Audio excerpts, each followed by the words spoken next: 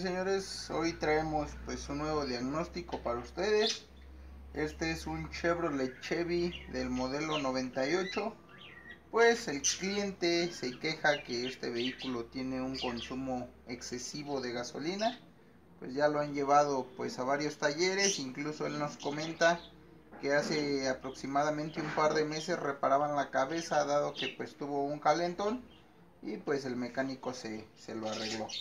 Entonces hoy viene este vehículo dado que el consumo de combustible es, es excesivo incluso ya tan tanto es el gasto de combustible que pues ya podemos bueno yo quisiera que ustedes lo pudieran oler el aceite ya tiene gasolina el olor a gasolina en el aceite ya, ya es bastante. Y pues solamente este carro presenta un solo código, que es el código del sensor MAP. Ahorita con ustedes vamos a hacer las comprobaciones. Vamos a pasar a escanearlo. Yo ya aquí tengo mi multímetro. Y pues también por acá ya tengo un poco de herramienta preparada. Para pues agilizar un poco el proceso. Dado que pues muchas veces ustedes quieren ver todos los procesos que pues se van a realizar. Vamos a empezar primero a escanearlo porque ya saben que a pesar de que yo no lo hago así, yo prefiero primero revisar todos los componentes mecánicos, pues muchos de ustedes siempre me, dicen, maestro, escaneelo. No es mi forma de trabajar, pero lo hago para ustedes. Esto recuerden que es meramente demostrativo. Este, muchas veces los procesos que ustedes ven aquí en los vehículos, pues son los procesos que ustedes se pueden dar a la idea a seguir, no le estoy diciendo que lo hagan completamente igual, todos los vehículos pueden tener una falla muy similar, pero tener una falla completamente diferente o más bien un diagnóstico completamente diferente a pesar de que las fallas sean muy similares. Entonces, vamos a empezar a escanearlo, yo allá adentro ya tengo la herramienta de diagnóstico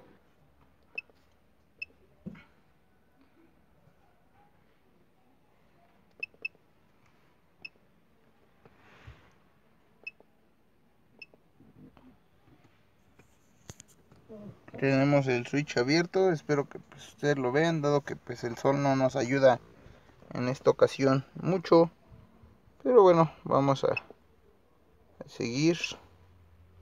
Este es un Chevy del año 98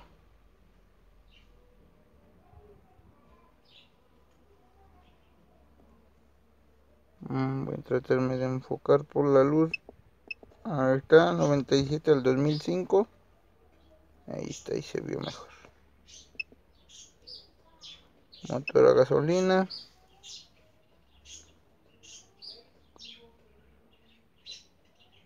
Vamos a ver los códigos permanentes. Dice que no hay códigos. Vamos a ver los pendientes. Y pues ahí tenemos presión absoluta múltiple de admisión map bajo 34. Ahí está. Ahora vámonos al flujo de datos, señores. Otra cosa que a mí se me olvidaba decirles, pues que este vehículo ya cuando toma temperatura, pues ya no quiere encender, tienen que pisarle a fondo para, ya saben, hacer el modo de desahogo y pues el vehículo pueda, puede encender. Vamos a probar nuestro TPS. Ahí nos está diciendo el ángulo, tanto pues como el voltaje que, que aquí tenemos. Ojalá y se enfoque. Ahí se ve un poco mejor. Voy lo pisando y de esto debe de... Ok, vamos viendo el voltaje y también la apertura de TPS. Vamos bien. Vamos a pisarlo a fondo. Ok, el TPS está funcionando dentro de ahorita. Se ve, se ve en buen estado. Pero pues esto solamente es para comprobar pues el consumo de, combustible. Vamos a ver qué. Y pues aquí alcanzamos a ver pues el map su voltaje ahorita que pues está completamente apagado con switch on. Y pues aquí está lo que la computadora está viendo ahorita apagado. Y esto es lo que tiene pues el valor de, del map Vamos a encenderlo. Recuerden que estos vehículos trabajan sobre los 33 kilopascales. Espero que eh, ustedes lo escuchen. El vehículo pues se enciende de una manera bien.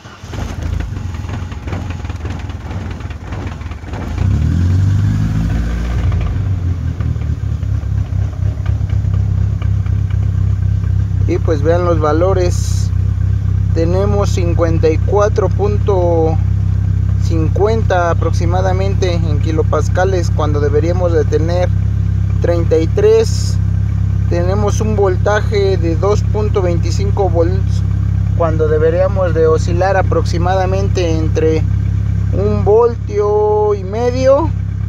Mm, más o menos es el valor uno y medio un voltio 200 hasta un voltio 700 pero bueno la temperatura del motor pues el motor está completamente frío.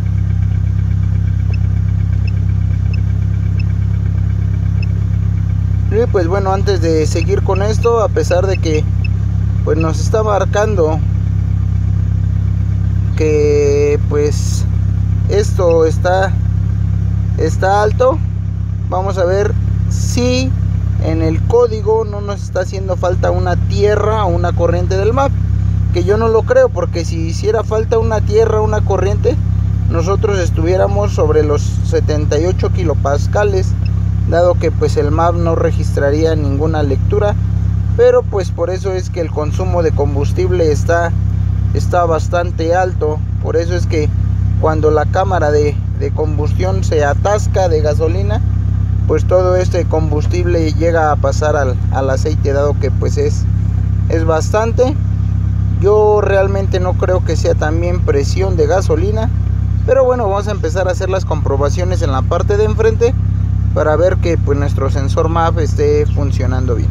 Vamos a comprobar primero pues las señales de nuestro sensor MAP. Yo aquí pues tuve que tronar el pequeño cinturón para pues poder hacer esto más, más ágil.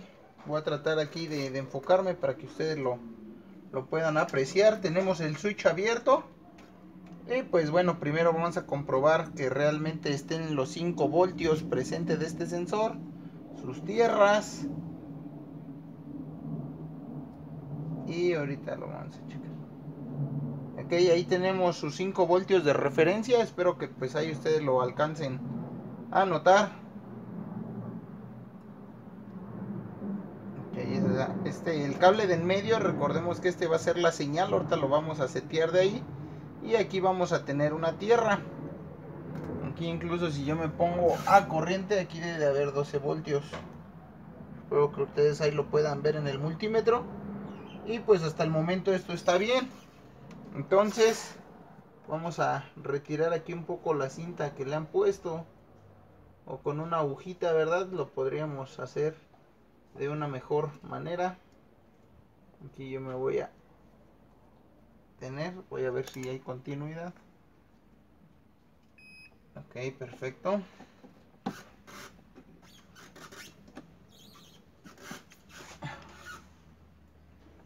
Aquí voy a buscar una pequeña tierra.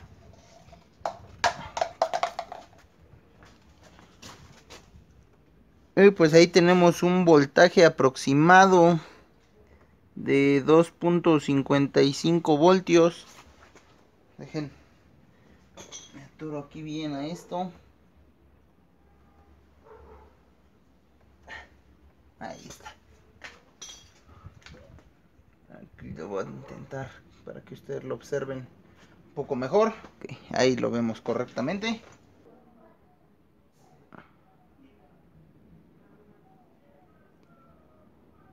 Y pues ahorita nosotros nos vamos a enfocar en el sensor map.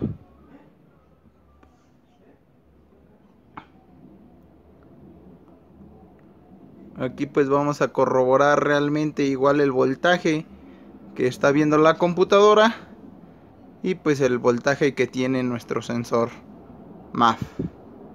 Aquí pues nos está marcando que tiene 3.59 volts cuando en el multímetro nos está marcando 2.55 ahora amigos vamos a encender el vehículo y vamos a ver si las lecturas son realmente correctas lo que pues nos está indicando. Pero vean simplemente que hay un desfase casi de un voltio sale entonces vamos a ver qué está viendo la computadora y vamos a ver realmente qué es lo que está pasando con este vehículo. Bueno señores, pues podemos ver que tenemos 2.55 ok. Yo creo ah aquí se me botó la tierra una disculpa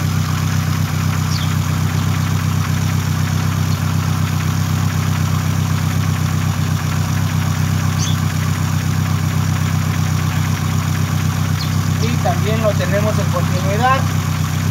Ese fue error error mío. Dejen fijo un poco mejor la tierra.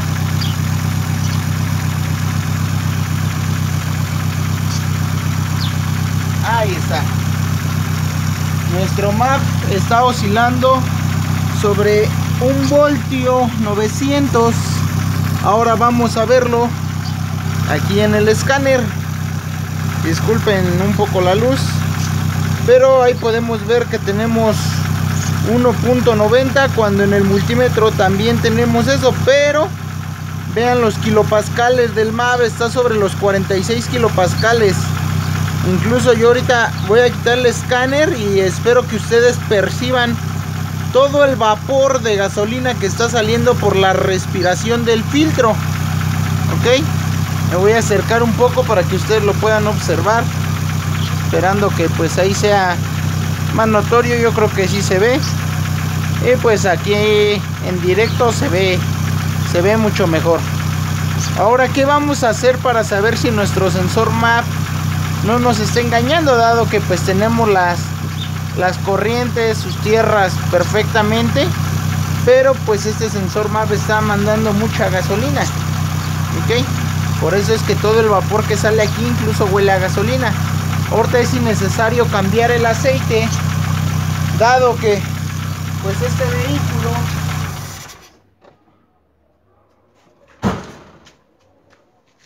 dado que este vehículo amigos pues ya le han reemplazado el aceite. Y tenemos 3.61 vamos a verlo pues igual aquí en nuestro escáner. Tenemos 3.62 en el multímetro y aquí tenemos 3.59 entonces esto está muy similar a lo que nuestro multímetro está, está registrando ahora vamos a revisar que realmente la manguera de vacío que está por la parte de atrás de nuestro TBI pues esté, esté correctamente, que no esté, no esté partida, ¿verdad? Pero no, aquí esto está, está bien, está correcto. Entonces vamos a tratar de sacarla. Y con el switch abierto, sigue el switch abierto. Yo voy a empezar a succionar amigos para ver si el MAV está haciendo su trabajo. Y si aquí esto estuviera bien el paso a seguir pues es revisar nuestro tiempo. Y muchos van a decir ¿por qué el tiempo maestro? porque si nosotros no tenemos una correcta sincronización entre el pistón y las válvulas o el árbol y el cigüeñal pues esto va a hacer que tengamos una pérdida de compresión esto alguna vez me llegó a pasar en un Stratus que pues se la pasaba echando humo y no la encontraban. Y todo el problema fue el tiempo. Entonces vamos a ver si nuestro map está reaccionando a las señales. Voy a empezar a succionar y esto debe de empezar a bajar el voltaje.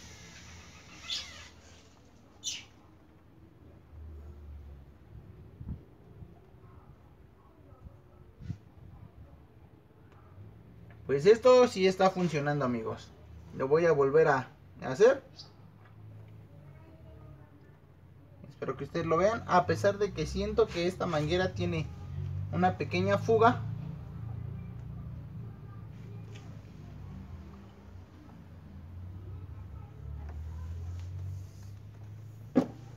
Vamos a reemplazarla para hacer un mejor vacío solamente recorté un poco la manguera dado que pues no, ahorita en el momento no, no encontré a la mano pero bueno, vamos a hacer la misma prueba, dado que ahorita se cayó un poco el vacío. Y ahí está amigos, está bajando, voy a succionar un poco más. Aproximadamente, esta es la lectura 1.4 que nos debería de estar dando aproximadamente con 33 kilopascales el vehículo para tener un consumo correcto de combustible. Ahí yo lo suelto y vuelve a tener 3.61 voltios. Vamos otra vez.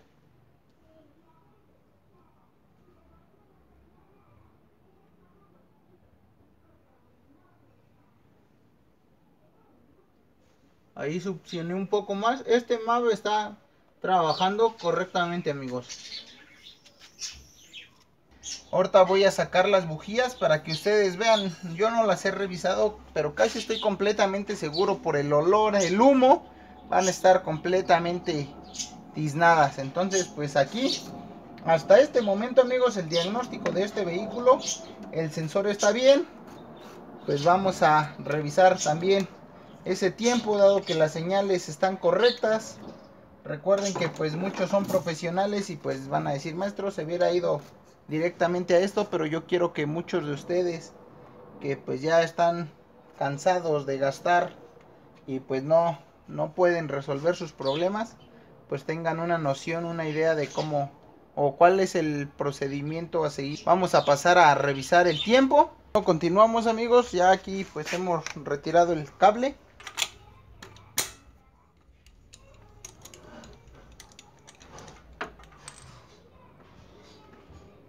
Y pues espero que ustedes ahí lo puedan observar completamente negra y con olor a combustible. Y aquí pues yo lo único que me adelanté fue ponerlo a tiempo. Me voy a acercar un poco aquí con la cámara. Pues el tiempo está correcto, el tiempo no, no tiene ningún, ningún problema. Punto muerto superior. Y pues no, aquí no, hubo problemas de, de correlación de tiempo. Ya aquí pues hemos revisado pues el problema mayor, dado que pues eso nos está indicando el escáner, ¿verdad? Que tenemos un código de falla en el map. Pero ahora hay que hacernos la pregunta, por falta o más bien por problemas mecánicos, ¿podemos generar un código? Claro que sí amigos. Entonces, si el map nos está marcando un problema, pues ya saben, no nada más es reemplazar o chécale vacío. Ahora, bien importante, aquí hay dos formas de hacer esta prueba que ahorita vamos a realizar. Lo pueden hacer con un vacúmetro, se agarran a una línea y aproximadamente debemos de tener 17 libras de mercurio, si no mal estoy. Pero si ustedes no tienen esa herramienta, ¿qué van a seguir a hacer? Ya sea cualquiera de las dos pruebas nos va a acercar más al diagnóstico correcto de pues el vehículo, en este caso en este Chevy. Pues yo voy a revisar con presión. Lo puedo hacer con el vacúmetro, también lo puedo hacer.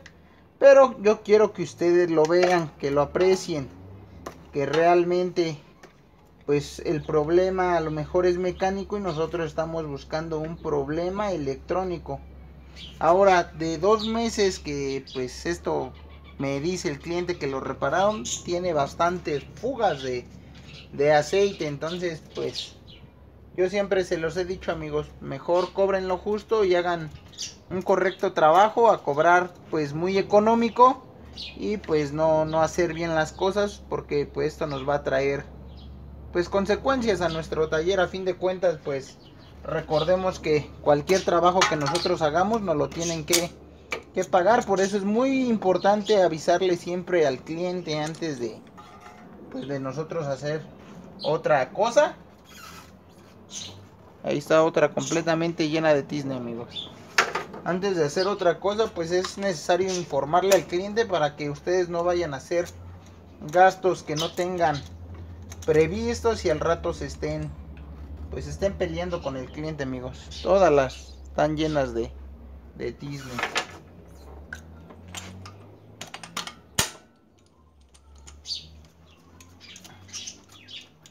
ahora también podríamos amigos antes de hacer esta prueba revisar la chispa.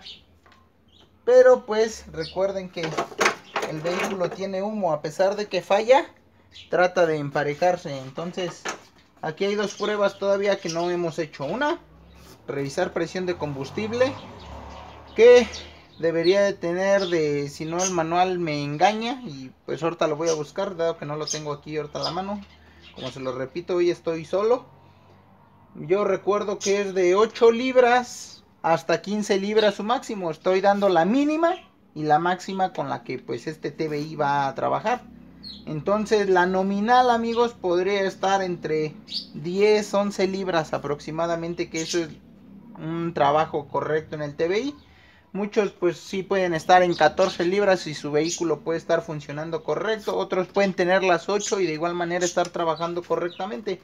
Yo solamente pues les doy el intermedio para que ustedes se den una idea de lo que pues vamos a revisar. Entonces yo voy a revisar con presión. Si esta prueba está correctamente pues vamos a revisar presión de combustible. Y si el combustible estuviera bien vamos a revisar que nuestra bobina tenga buena chispa, ¿verdad? Y si aún así todavía esto siguiera con el problema, vamos a revisar el sensor de temperatura. Recordemos que muchas veces ese sensor hace que pues nos esté inyectando bastante combustible al estar engañando a la computadora diciéndole que el vehículo está muy frío, entonces pues el pulso de inyección siempre está muy muy abierto, pero yo casi estoy seguro que el sensor de temperatura no es dado que pues los datos que vimos en el escáner como vimos en el multímetro aquí nos está marcando por la prueba que le hicimos que nos está haciendo falta vacío en el motor.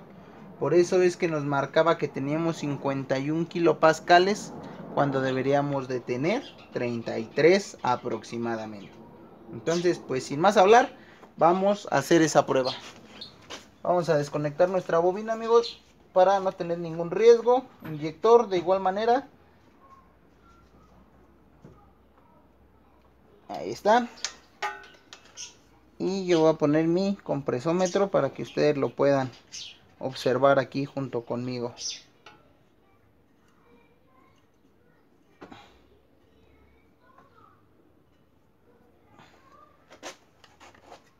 A tratar de enfocarme bien Dale marcha, por favor.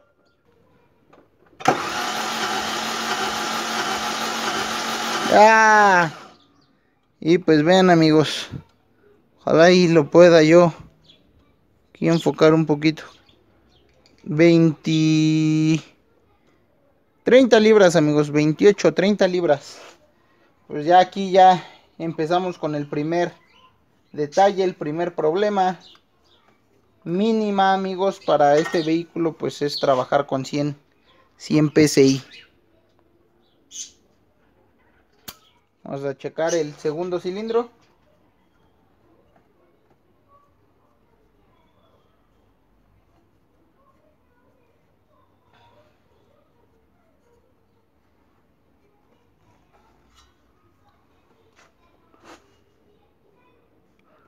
Dale.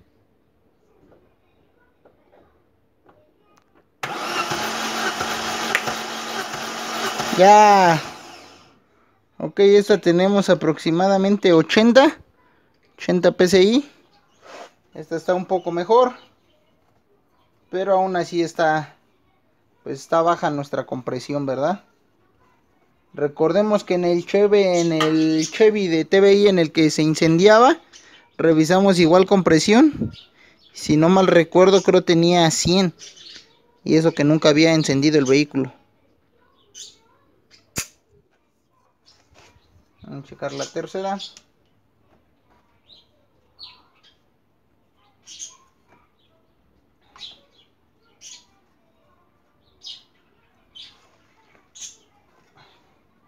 Dale marcha, por favor. Ya. En esta tenemos 50, amigos.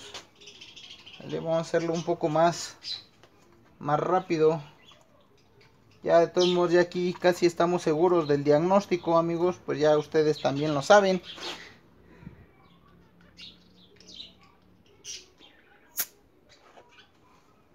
Y vamos a checar el último cilindro.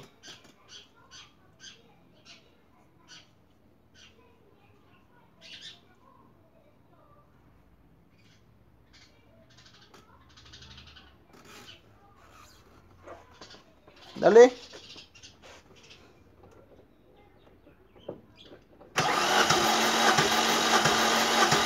Ya. Y pues aquí tenemos 60. Ya ciérrale el switch, por favor. Ahí está. Pues bueno amigos, pues aquí el paso a seguir ahorita es informarle al cliente. Pues al menos primero hay que retirar pues la cabeza. las otras pruebas, pues ahorita ya es innecesario hacerlas, dado que pues con esta compresión, pues siempre vamos a tener el problema de que el vehículo se esté ahogando al no tener pues una buena quema de combustible. Ahí está, y menos con una que tiene 25 libras de presión. Entonces, pues paso a seguir, retirar esta, esta cabeza. Si el cliente no lo deja hacer así, amigos, nosotros vamos a seguir grabando. Bueno, señores, ya estamos retomando aquí pues el video. Dado que el cliente acaba de autorizar que pues esto pues si se desarme, vamos a ver las condiciones en las que se encuentra pues yo creo que pues no es necesario que esté hablando, solamente pues lo voy a grabar pues con fines demostrativos para el mismo cliente.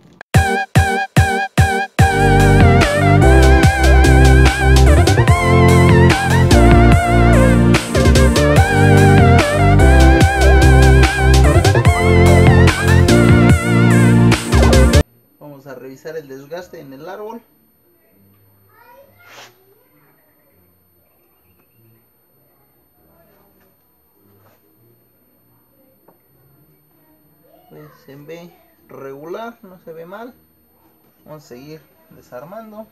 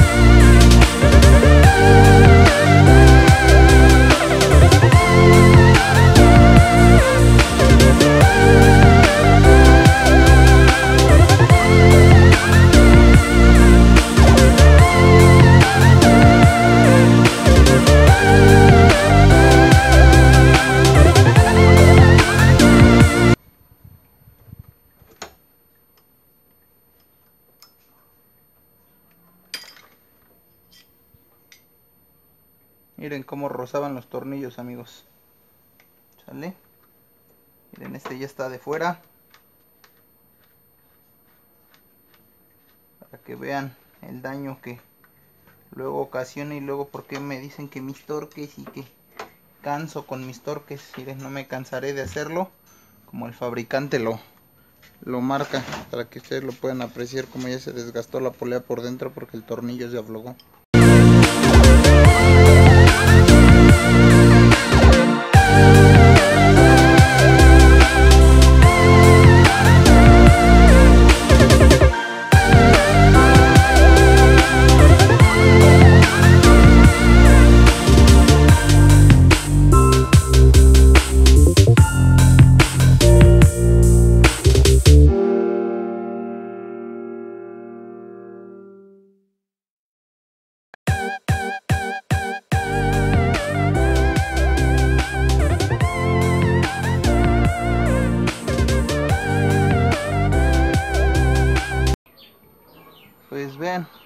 Ahí pues la costra de, de mugre. Que tiene esto voy a tratarla de enfocar. Ahí se ve perfectamente vean el grosor. Para dos meses que según repararon la cabeza no solo la cepillaron la repararon. Eso fue lo que a mí me dijo el cliente de este de este vehículo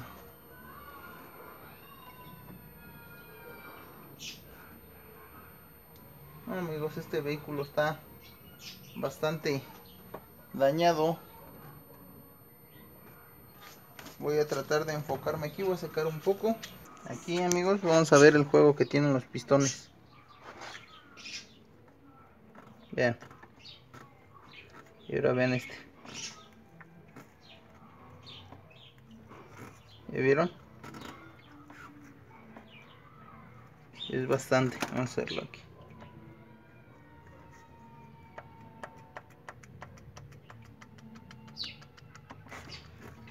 Vamos.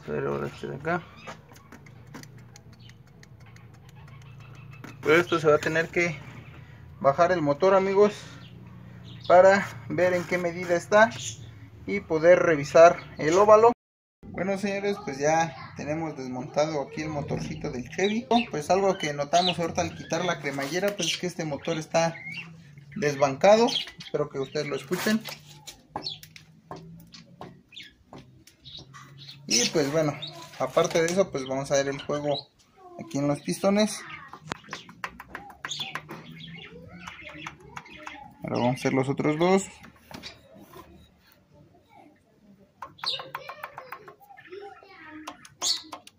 Y pues ahí lo vimos va entonces vamos a empezarle a dar desarme.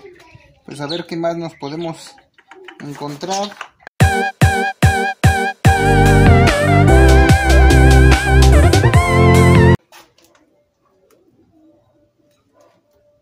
aquí pues espero que ustedes aprecien el juego axial que tiene la, la bancada.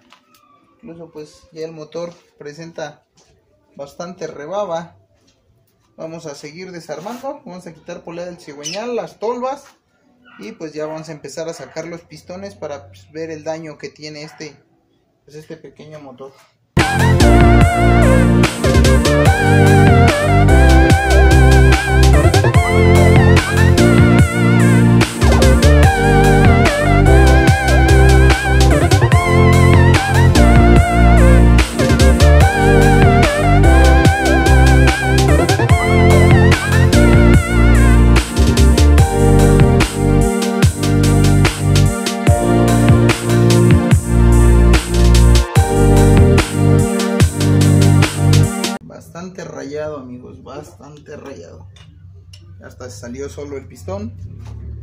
y pues bueno aquí se van a acercar para que ustedes vean el daño que hay aquí en el pistón.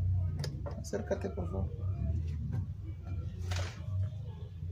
Recuerden que este es el pistón número uno en el que teníamos 25 de compresión. Está tronado el pistón.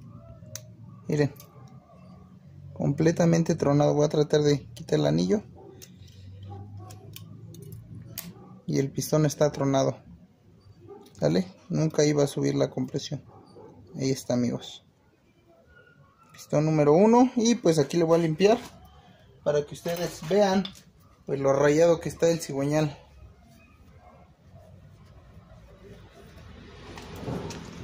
Si se ve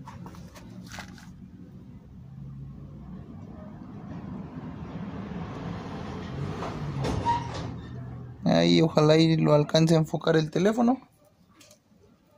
Pues bueno vamos a seguir desarmando y pues ahorita si encontramos otra novedad pues se lo haremos saber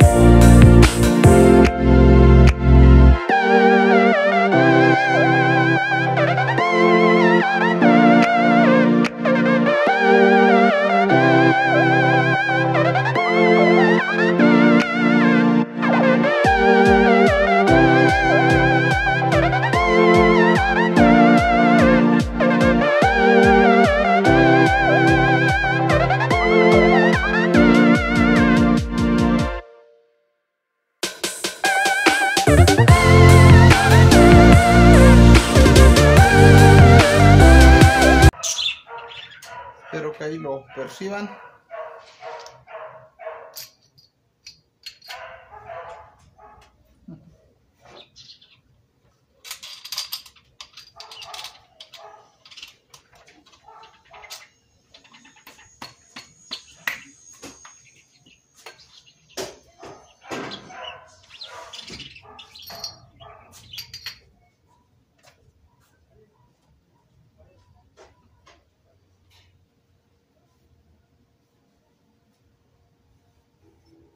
Y pues bueno, el de, centro amigos. Ya no tiene ni siquiera las ranuras de lubricación dado que pues ya se lo acabó el metal. cuando de este lado que no hace fuerza pues ahí podemos observarlas. Espero que sí se enfoque ahí un poquito el teléfono. Ahí se ven. Y pues de este lado vean el desgaste que, que ha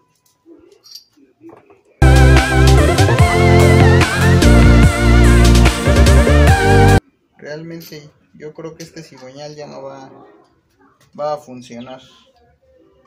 Dado que de este lado la zanja ya está bastante profunda. Ojalá y aquí se perciba. Y luego la medida está en 30 amigos.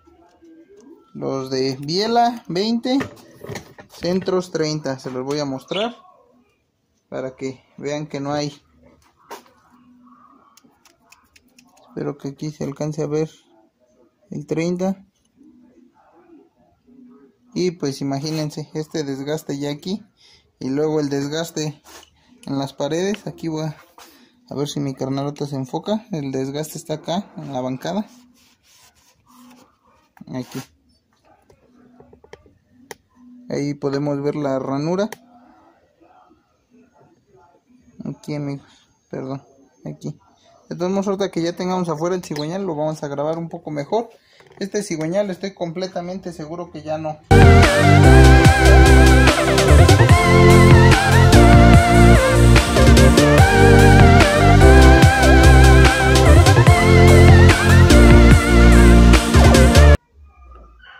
Pues ahí espero que ustedes alcancen a percibir pues el daño que ya tiene este cigüeñal